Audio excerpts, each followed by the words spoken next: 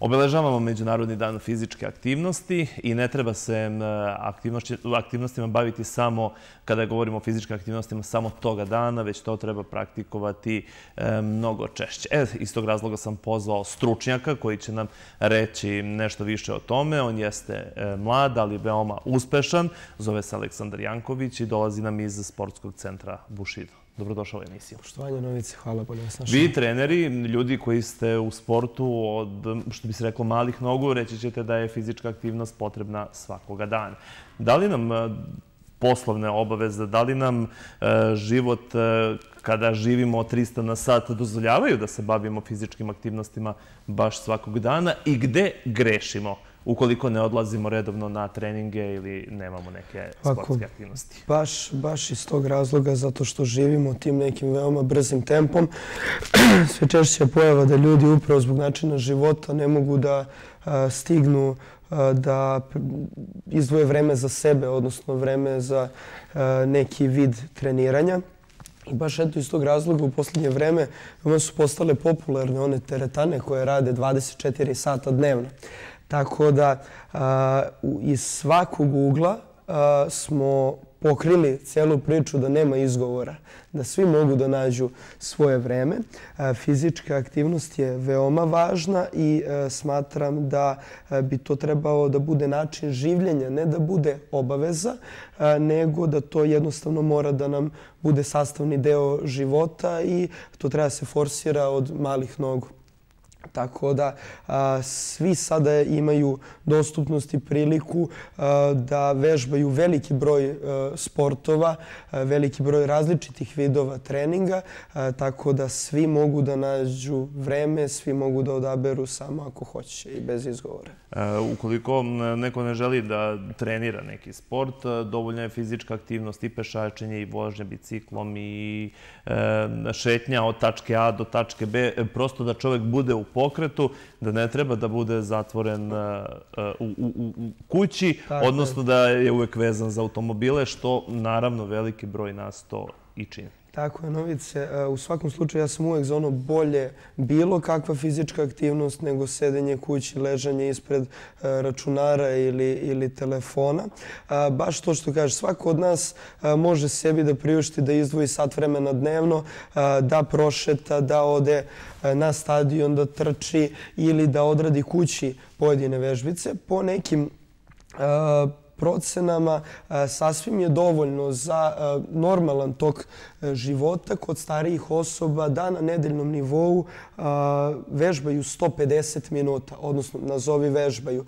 Brzo hodaju, odrade par vežbice ili jednostavno svako veče od tačke A do tačke B stignu, to će sasvim biti dovoljno da budu zdraviji. Dok, na primjer, kod dece ta brojka je 60 minuta, ali na dnevnom nivou. Tako da je to jedan možda, jedna možda korisna informacija za sve one koji traže izgovore da ne odu u neki trening centar, da odrade neki trening. E, kada govorimo o starijoj populaciji, koje su to fizičke aktivnosti koje naši sugrađani treba da odaberu? Da li se one razlikuju individualno od čoveka do čoveka u odnosu na kilograme, u odnosu na broj godina, na pokretljivost? E, šta je najbolji parametar e, opredeliti se za, za neki sport? Evo ovako, kada pričamo o izboru fizičke aktivnosti, tu je najvažnije u principu koji cilj mi imamo. Šta je nama cilj krajnji do kog treba da dođemo? E, a, kada odredimo cilj, e onda na kontu toga biramo koja fizička aktivnost, koju fizičku aktivnost treba da primenimo.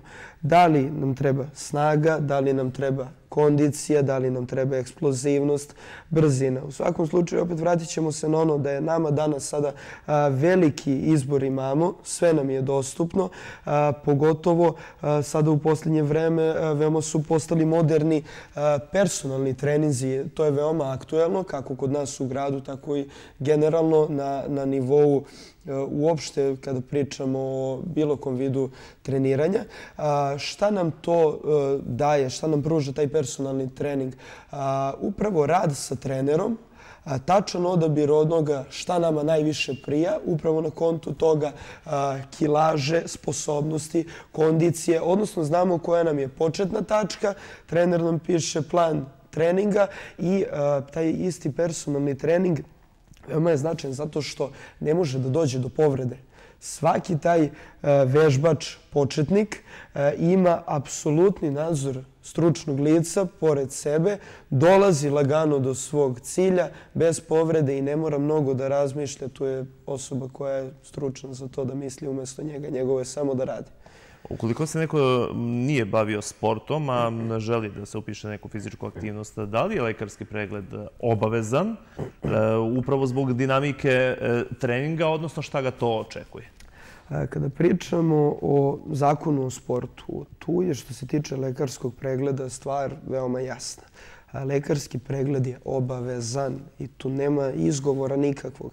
Nažalost, pogotovo u poslednje vreme sve češće možemo pročitavati mnogo ružne naslove i na vestima i u novinama i na internet portalima o kobnim završecima kada je sport u pitanju i što je najgore od svega, to su sve češće mladi ljudi a, lekarski pregled obavezan.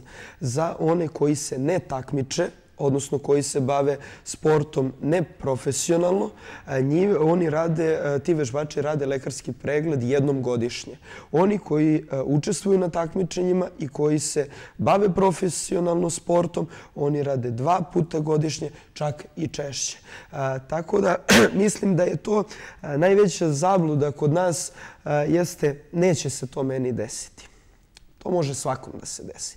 I nikada presudni trenutak nije trening. Najčešće se takve ružne stvari dešavaju problemima kardiovaskularnog sistema, e, gde trening dođe samo kao okidač, odnosno trening je ta neka crta koja se pređe i onda zaista nastane problem. A, tako da a, jako je važno da ne živimo u zabludi.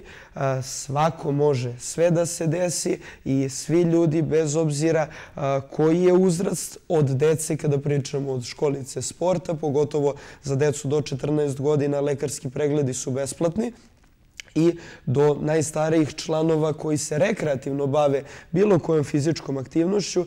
E, smatram da svi treba da odu kod lekara, da urade taj lekarski pregled prvenstveno zbog sebe, ne zato što to zakon nalaže ili trener to kaže. Lekarski obavezan. Sportski centar Bušido ima zaista široku paletu e, za najmlađi uzrast, pa zatim e, i za one nešto starije. E, šta je to što preporučujete našim sugrađanima upravo od tih najmlađih pa do najstarijih uzrastnih grupa? Evo ovako, što se tiče tih najmlađih naših drugara, oni imaju u izboru školicu sporta kao osnovu svega.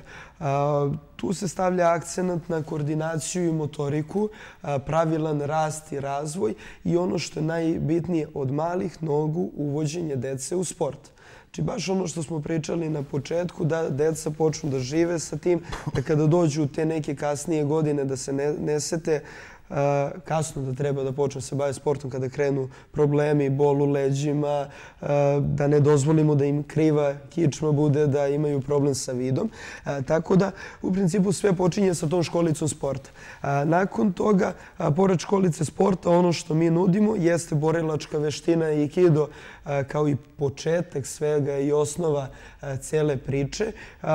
Tu su godine starosti od 5 Pa najstariji član sada trenutno ima 67 godina kod nas u klubu. Tako da za samoodbranu i za borilačku veštinu godine starosti ne postoje. A, pored e, toga, Ono što mi nudimo jeste Insanity Cardio program.